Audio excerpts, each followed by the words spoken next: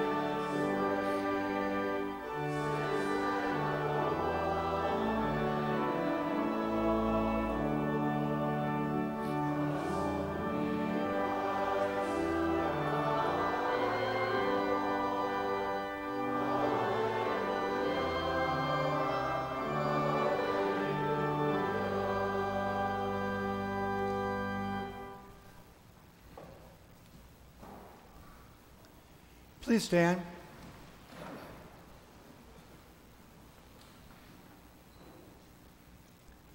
In the name of the Father, and of the Son, and of the Holy Spirit. If we claim to be without sin, we deceive ourselves, and the truth is not in us.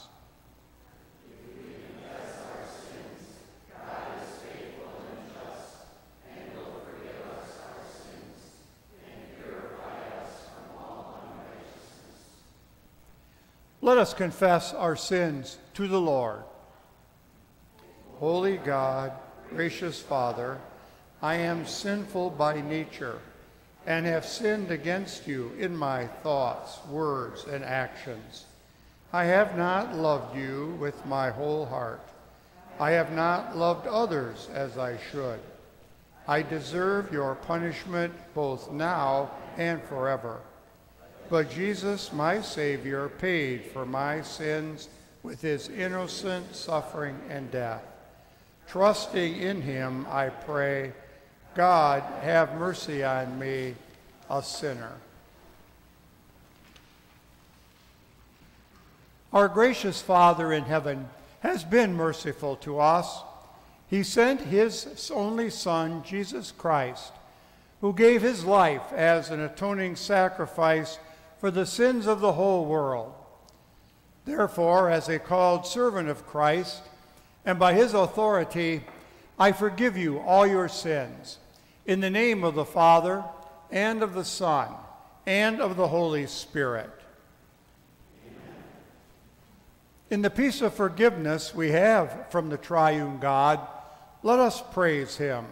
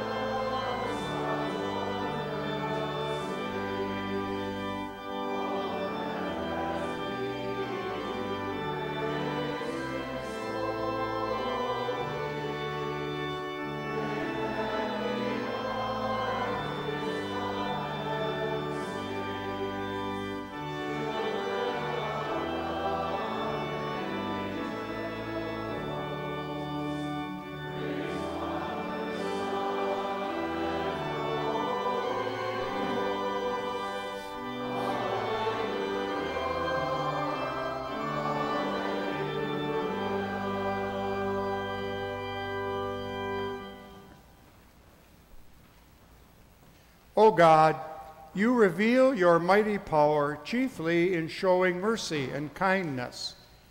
Give us the full measure of your grace, that we may obtain your promises and become partakers of your heavenly glory through Jesus Christ, your Son, our Lord, who lives and reigns with you and the Holy Spirit, one God, now and forever. Amen. Please be seated.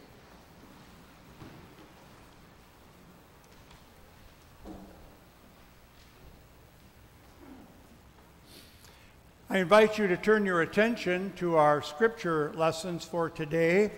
Today is the eighth Sunday after Pentecost. For our first lesson, we turn to the book of Ecclesiastes, and there we read selected verses from the first and second chapters. You'll notice in the EHV, they keep the name of the book, Ecclesiastes, to describe the writer, David's son, who is Solomon. Ecclesiastes is really a title that means a, a, teacher or a preacher or someone who gathers people together to instruct them. The words of Ecclesiastes, David's son, king in Jerusalem. Nothing but vapor, Ecclesiastes said totally vapor. Everything is just vapor that vanishes. I, Ecclesiastes, have been king over Israel in Jerusalem. I applied my heart to seek out and explore with wisdom everything done under the sky. What a burdensome task God has given the children of Adam to keep them busy. I have seen all the actions done under the sun, and look, it is all nothing but vapor. It is all chasing the wind. I also hated all the results of my hard work, for which I worked so hard under the sun, since I must leave it all to the man who comes after me. And who knows, will he be wise or a fool? Yet he will have control over all the results of my hard work, for which I work so hard and so wisely under the sun. This too is vapor that vanishes. So I changed my course, and my heart began to despair over all my hard work at which I work so hard under the sun? Sure, there may be a man who has worked hard, wisely, aptly, and skillfully, but he must hand over whatever he accumulated by all his hard work to a man who has not worked for hard for it. This too is a vapor. It's so unfair. For what does a man gain through all his hard work, through all the turmoil in his heart, as he works so hard under the sun? Bah! Pain fills his days. His occupation is frustration. Even at night, his heart does not rest. This too is vapor. There is nothing better for a man than to eat and to drink and to find joy in his work. This too, I saw, is from God's hand. For who can eat or enjoy himself apart from him? Yes, God gives wisdom, knowledge, and happiness to the man whom he considers good. But to the person who goes on sinning, God gives the task of gathering and collecting, but only so that he can give it all to a person whom God considers good. This too is vapor, nothing but chasing the wind. This is the word of the Lord. We join now in our psalm of the day as we sing Psalm 90.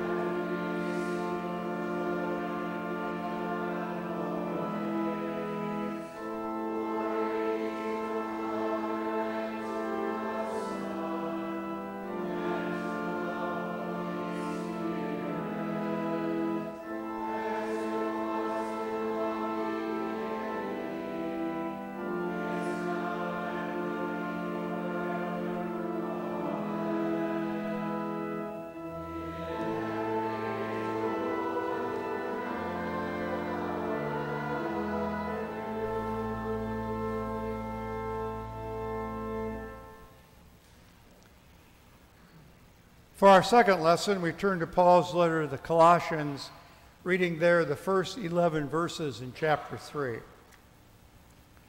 Therefore, because you were raised with Christ, seek the things that are above, where Christ is seated at the right hand of God. Set your mind on things above, not on earthly things. For you died, and your life is hidden with Christ in God. When Christ, who is your life, appears, then you also will appear with him in glory.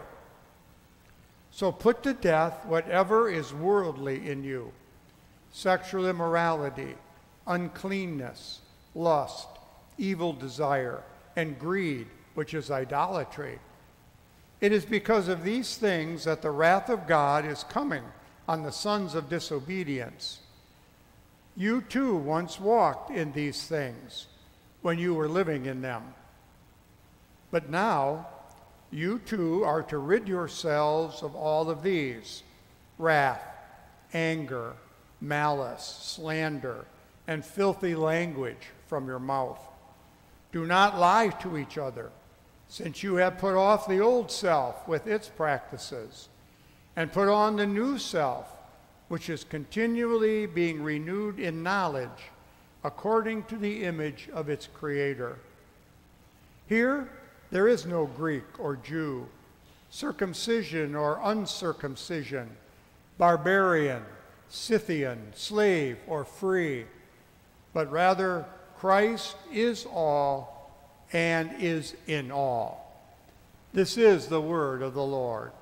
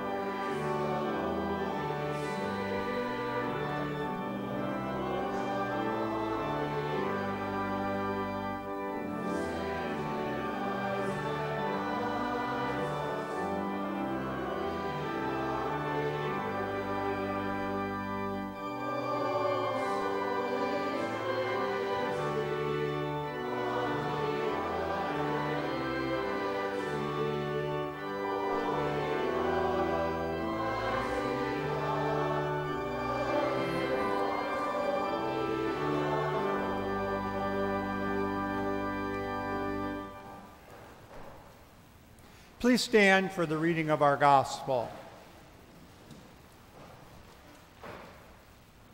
Our gospel lesson, which is also the basis for the sermon, continues our readings from the gospel according to St. Luke. We read today in chapter 12, beginning at verse 13. Someone from the crowd said to him, Teacher, tell my brother to divide the inheritance with me. But Jesus said to him, Man, who appointed me to be a judge or an arbiter over you? Then he said to them, Watch out and be on guard against all greed, because a man's life is not measured by how many possessions he has. He told them a parable. The land of a certain rich man produced very well. He was thinking to himself, What will I do? Because I do not have anywhere to store my crops. He said, This is what I will do I will pull down my barns and build bigger ones, and there I will store all my grain and goods.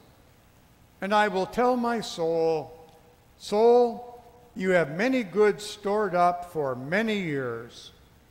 Take it easy, eat, drink, and be merry. But God said to him, You fool, this night your soul will be demanded from you. Now who will get what you have prepared? This is how it will be for anyone who stores up treasures for himself and is not rich toward God. This is the gospel of our Lord. Please be seated, and we'll have the children's message. Children, you may come up to the front.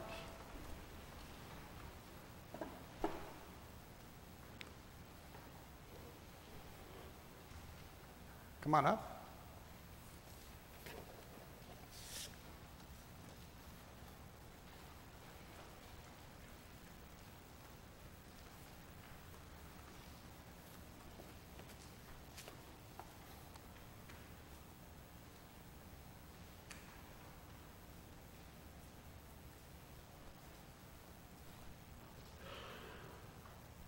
Good morning, everybody. I just pulled this out of my wallet. It is some money. $20 bill, $10 bill, $5 bill, some singles. If I can do the math correctly, this is $37 worth of money.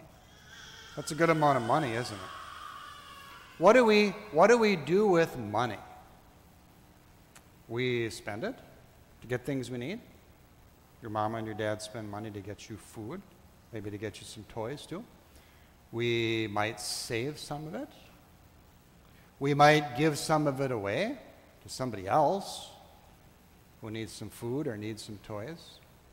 This is one thing, though, we don't do with money. Look at this.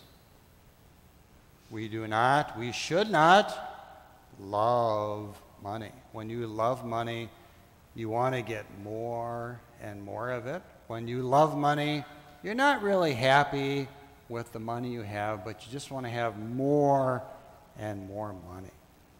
Money comes to us from God, but God says in the Bible, do not love money. And God says to us, if we love money, we'll commit other sins too. And some people, this is where it gets really scary, some people, when they have loved money, They've lost their faith in Jesus. Mm, no, we don't love money. Instead, we love Jesus, who loved us first. We love Jesus because he's given us things money could never buy, like the forgiveness of our sins and a place in heaven with Jesus forever. So let's ask Jesus to help us not to love money. Let's ask Jesus to help us always to love him and one another too. Let's pray. Dear Jesus, we thank you for giving us and our families money so that we can get our food, live in our homes, and get the other things that we need to live. We ask you to keep us from loving money. Help us always to love you and to love one another. We pray in your name. Amen. Thank you, children. You may go back to your seats. The next hymn is a new hymn to us from the new hymnal. A vocalist will sing um, all the stanzas. You're invited to join in singing stanza three.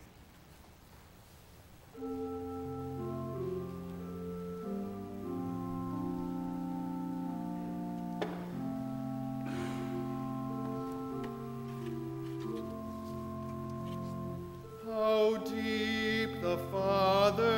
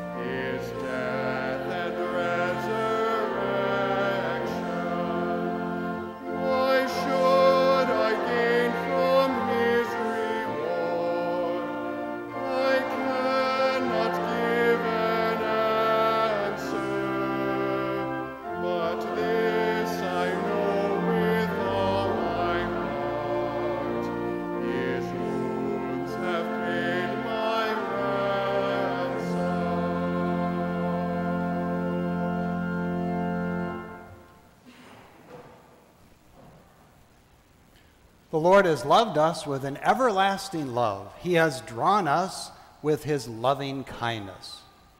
Dear brothers and sisters in Christ, grace to each of you from our dear Savior. We don't have to look very far to find advice about money. Television broadcasts, courses that we might enroll in, podcasts, there are many sources. The money experts will give advice about how to earn money, how to make money grow, how to, how to put together your financial plan for your future.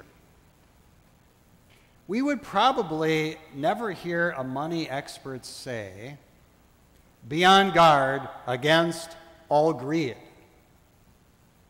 This is a warning from our dear Savior a warning for us to take seriously in regard to money and worldly possessions. Watch out and be on guard against all greed. Our Lord Jesus spoke that warning in response to a request that came to him from a man who was having a family dispute. He asked Jesus to, to help sort out an inheritance question with his brother. Apparently, in that time, the Jewish teachers, the rabbis, would sometimes arbitrate in these kinds of inheritance disputes among family members. It still goes on today, doesn't it? What is key for us is our Lord's reaction. He chose not to get involved in this family dispute and determine who deserved what when it came to the inheritance. Instead, Jesus addressed a common spiritual malady, a problem of the heart and the mind greed. You might have noticed that when Jesus spoke the warning, he spoke not only to the man, but he spoke to the whole crowd because this is a common spiritual problem for everybody, including us. Watch out and be on guard against all greed. Greed constantly entices us too. We have inside of us, and we face this fact every day, our sinful flesh. The flesh inside of us is always opposed to every good thing that God commands us to do. It is 100% opposed to God and His Word. When God says, do this, our flesh always says, absolutely not. Our sinful flesh is greedy. It's greedy all the time. It wants more and more of worldly possessions. And it wants more and more to use only for itself. That flesh inside of us is always greedy. That greed which our flesh delights in is called a form of idolatry. When Martin Luther lived, he spoke this observation to his fellow, his fellow Germans. This was 500 years ago. It certainly sounds like today, too. He wrote about money. Money is the most common idol on earth. He who has money and possessions feels secure and is joyful and undismayed, as though he were sitting in the midst of paradise. On the other hand, he who has no money doubts and is despondent, as though he knew of no God. Our flesh is greedy, it always indulges in this form of idolatry. What doesn't help is the sinful world in which we live, which always throws fuel on the fire of greedy idolatry within us. Let's just reflect for a few moments on some of the attitudes in the world about money and wealth. If you have money and more of it, you'll be happier.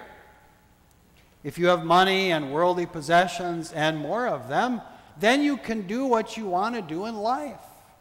With money comes security.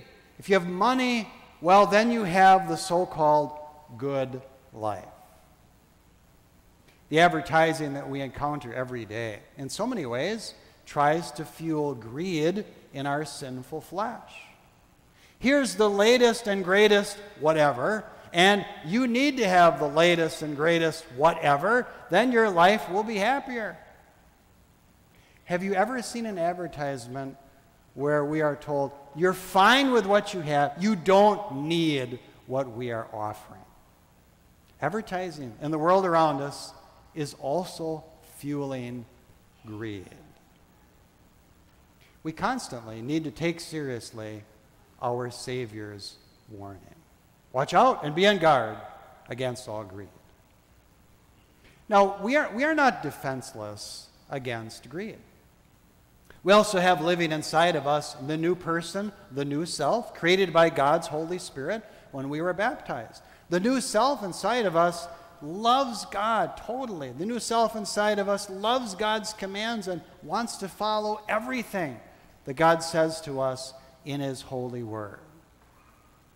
There's a conflict daily between the new self and the old self. The old self is greedy. The old self follows everything that the world promotes about money and possessions. The new self constantly fights against greed and strives to be content with whatever the Lord gives, whether it is much or it is little. The fact is, every one of us will deal with this conflict every day for the rest of our lives. So we live in repentance daily taking our many sins to Jesus, greed being one of them, laying them open before Christ, placing them in our minds on his cross, where he bled and died to remove the debt and the stain of every sin. And we take, we take renewed comfort and peace in the full forgiveness won for us by Jesus. This Jesus warns us be on guard against all greed. To his warning, Jesus also adds his wisdom. Listen again to what he said. A man's life is not measured by how many possessions he has. The quality of our lives, the value of our lives, does not hinge on how much we have.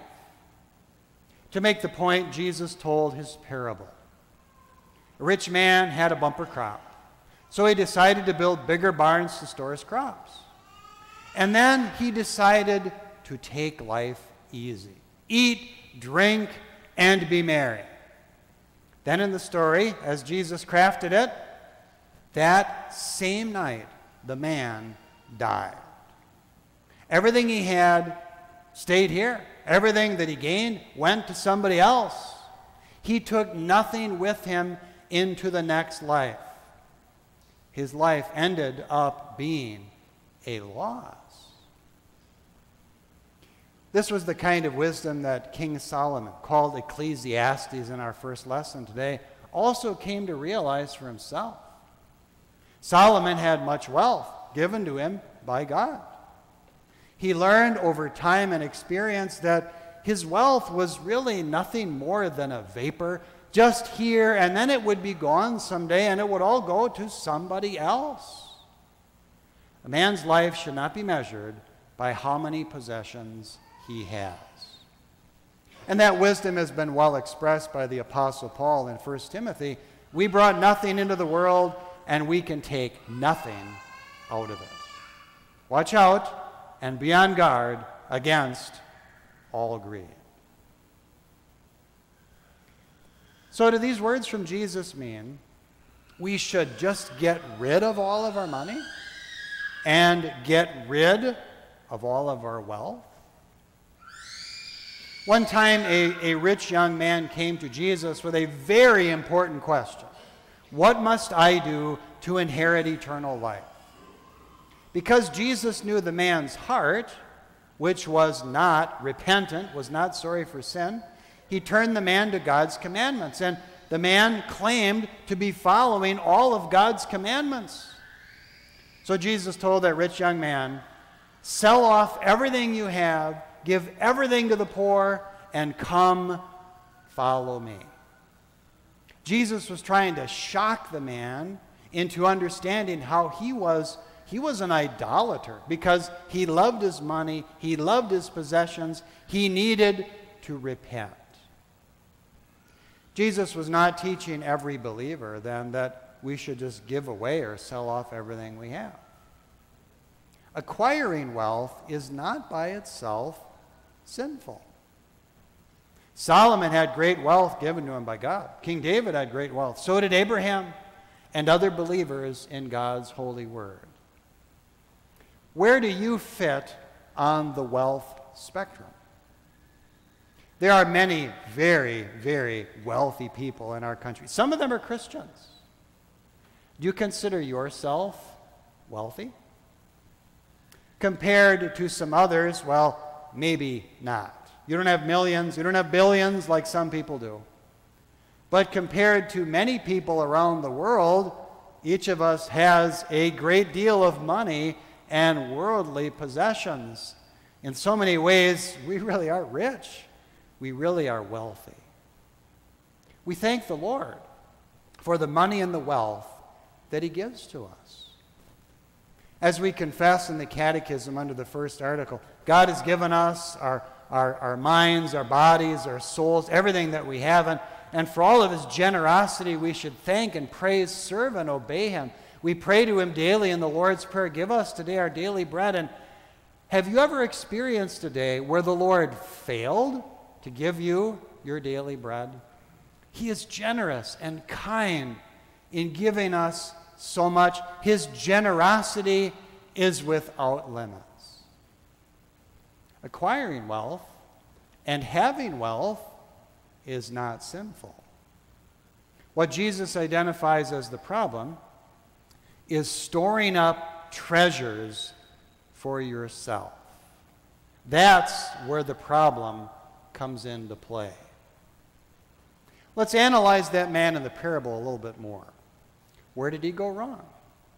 The fact that his crops did well, well, that was a blessing from God. And his plan to build some bigger barns and store up his wealth, that probably wasn't wrong. That seems like good planning in a way, doesn't it? But then what he intended to do with all that wealth that the Lord gave to him, just use it for himself. Take life easy and just live it up with that wealth that God had given to him. He tried to find security in money and in possessions. He tried to find happiness in money and in possessions. He forgot to look for the one true source of peace and security, the Lord Himself. He died Everything he earned stayed here. He took nothing with him at all. Don't store up treasures for yourself. That's Jesus' lesson for us. Don't be greedy with the worldly wealth that God gives. So, with God's help in our attitudes, we strive more and more not to find security in the physical blessings God gives to us. We strive not to buy into the lie of our flesh and of the world around us that if we have more, we will be happier here in our lives. We strive against those attitudes of the flesh and more and more do what Christ commands. He says, This is how it will be for anyone who stores up treasure for himself and is not rich toward God. What the Lord commands us to do is simple be rich toward God. Instead of trusting in wealth, instead of loving wealth, we trust in Christ and we love our Savior. The fact is, the gospel fact is, with Jesus, we have everything we could ever want or desire. In Jesus, we truly find everything. From Christ, we have riches of a different kind that are unlimited. The scriptures say to us, You know the grace of your Lord Jesus Christ, his undeserved love and favor for us, that though he was rich, yet for your sakes he became poor. Our loving Lord Jesus, our gracious Savior, the Son of God from all eternity, having everything as God, laid it aside for a time, came to the earth, lived for us, served sinners, gave up his life on the cross, suffered for us the punishment of our sins, to make us spiritually rich beyond our wildest dreams. What riches we have from God because of Christ. Forgiveness of all sins, peace with God in any and every circumstance, God's continued loving kindness, His rich generosity, the promise of eternal life. Not all the money in the world could come anywhere close to, purchasing, to purchasing one of those gifts from God. And they're all ours through faith in Christ. We are wealthy beyond our wildest dreams. Jesus says a man's life should not be measured by how many possessions that he has. How does the Lord measure your life and mine? Graciously rich because of God. Having Christ, we have truly everything. So instead of loving money and loving wealth, we love Christ and we, and we trust in Jesus. He is always faithful. We trust in Christ for everything that we need for our souls and for our bodies. As we live day by day and confront maybe some severe financial issues, we trust in Jesus who gave himself for us and has made us, made us spiritually rich to give us what we need for each day. As we trust in him, we also we also love him as our greatest treasure. If tomorrow each one of us would lose every cent of worldly wealth that we have, we'd still have Jesus, who is the greatest treasure anybody could ever have. Let's keep loving him with our hearts, with our minds, and with our lives. Having Jesus, we truly have everything. With that mindset of faith, we are rich toward God by, by striving to be content. Contentment is being happy with whatever God gives, whether it is little or it is much. And we can, and we are content because we know we have Christ and we have His promise that He will meet all of our needs. The scriptures encourage us Keep your life free from the love of money and be content with what you have, for God has said, I will never leave you and I will never forsake you. We are rich toward God then also as we use our worldly wealth as the Lord so directs. It is a blessing from God to enjoy the money and the worldly wealth that He gives to us. Here's some more wisdom from Ecclesiastes. For everyone to whom God has given wealth and riches, if God has also given him ability to eat from it, to enjoy his reward, and to rejoice in the results of his hard work, this is a gift from God. We understand, too, from God's word that it's not just for ourselves that God gives money and possessions, but it's for the good of others. To be rich toward God, we direct our worldly possessions as God so teaches. We care for our families. We give to help others according to their needs. We pay our taxes too to support our government as it defends us and maintains law and order. And we take some of that worldly wealth that God gives to us to support our congregation, our synod, in its very important gospel work. Then we are being rich toward God. Be on guard against all greed. That's the wise counsel from our Lord Jesus when it comes to money and possessions. Taking his counsel to heart, let's manage the money and the wealth that God gives to us. It, it's all his in the first place. And all of it's going to stay here when we leave this world and enter into eternal life. Let's use it to honor and to glorify God. The fact always remains we have the greatest riches anybody could ever have. We enjoy them now, and we will enjoy them to the full in eternity with Christ forever. Watch out, he says, and be on guard against all greed. Amen. Please stand.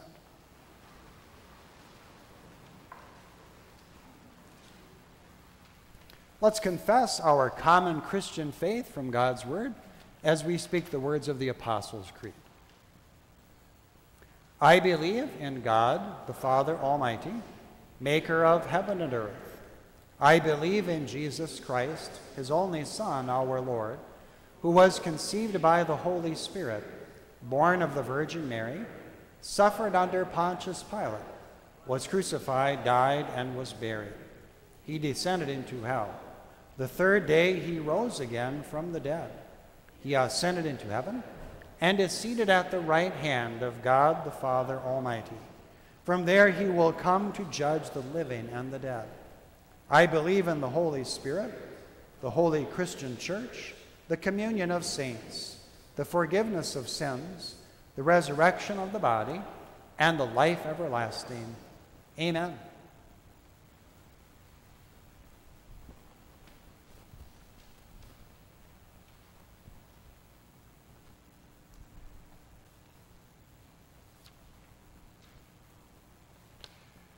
We include in our prayer an intercession on behalf of our fellow believer, Jerry Vanderberg, who is hospitalized. We pray. Lord Jesus Christ, we thank you for bringing to us again today the good news of your loving forgiveness and amazing grace. We praise you for teaching us in the scriptures that what matters the most in life is you and the gospel. Keep our faith focused on you, the Father, and the Holy Spirit. Turn us away from greed and other sins which distract us from you and could become destructive to our souls. Strengthen us against every temptation to seek more money and possessions for mere personal pleasure. Keep us from storing up treasures for ourselves Help us more and more to be rich toward God. Loving Lord, we give you honor, glory, thanks, and praise for making us rich beyond compare with the spiritual benefits of your saving work. Compassionate God, watch over our fellow believer, Jerry Vanderberg, during his hospitalization. Provide wisdom to doctors and hospital staff as they care for Jerry and bring relief for his physical needs.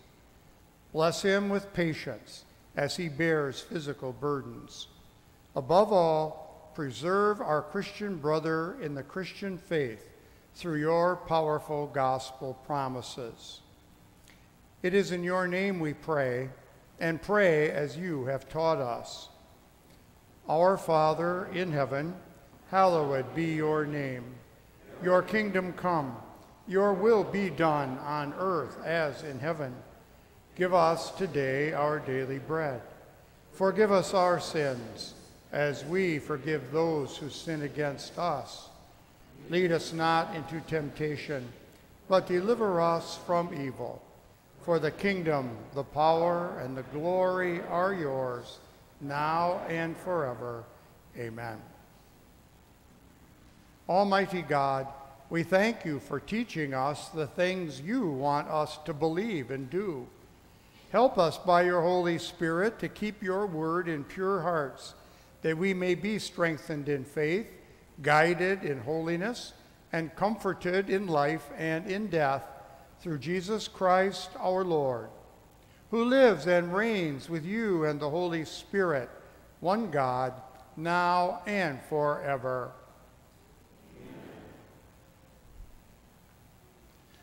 The Lord bless you and keep you. The Lord make his face shine on you and be gracious to you. The Lord look on you with his favor and give you peace. Please be seated.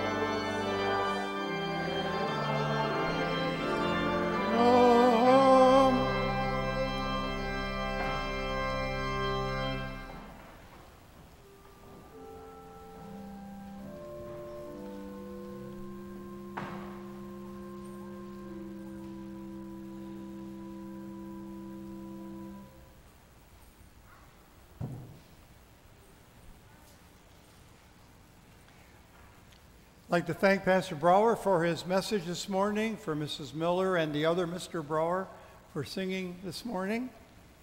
I guess I should say the Mr. Brower for singing this morning. Please make note of the information in your worship folder, but I did want to highlight just a couple of things. Uh, pre-call meeting at 9:15. We're going to start precisely at 9:15. So you want to get your refreshments and come back. Pastor Jensen, our district president, will be here uh, to lead us in a pre-call meeting. And a reminder that next Sunday, in between services, there will be, God willing, a call meeting uh, for us to extend a call for a second pastor. And also just point out uh, Pastor Hines' uh, report, the SSA report, that soon the council will be appointing an ad hoc committee to take another closer look at that and bring some recommendations to the congregation. So, again, have a safe day. Please come back for the pre-call meeting at 9:15.